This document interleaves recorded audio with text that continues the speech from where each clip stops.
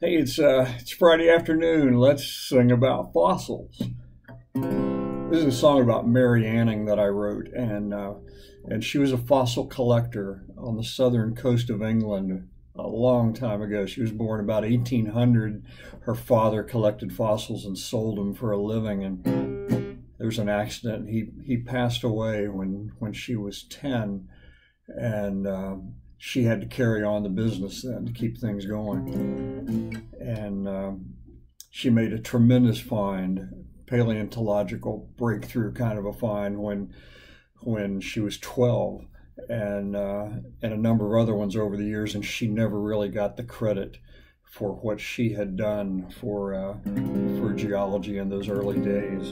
And um, there was a nursery rhyme written about her. It goes she sells seashells by the seashore. So there really was someone behind that that story. And uh, she had a dog named Tray.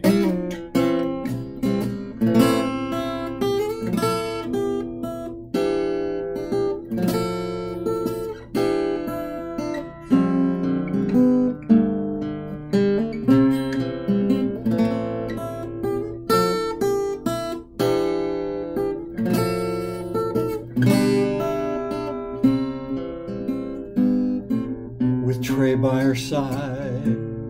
She goes walking the shore. She rolls up her collar, but the wind just blows more, and the tide rolls in strong. Most others would turn. Somehow she pushes ahead. These are the sands that her father walked to he taught her how hidden things come to view and a world full of treasures from long, long ago. He walks with her still on these days. She sells seashells down by the shore so her family can eat and keep cold from the door up a rock that is coiled in the stone and places it into her bag to take home. It'll buy next month's supper and maybe some more from Londoners passing through town. She sees something shiny up high on the cliff she uses her hammer and chisel to lift all the stone from above. This treasure she's found, and her life will ne'er be the same. She sells seashells down by the shore so her family can eat and keep cold from the door.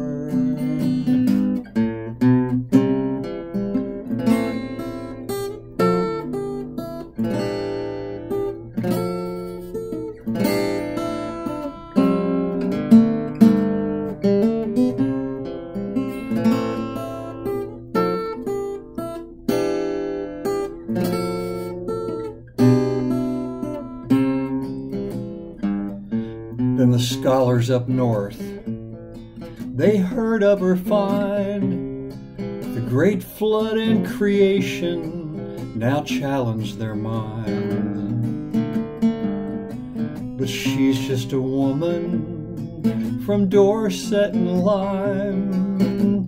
Things can be hard to explain. Sells seashells down by the shore so her family can eat and keep cold from the door.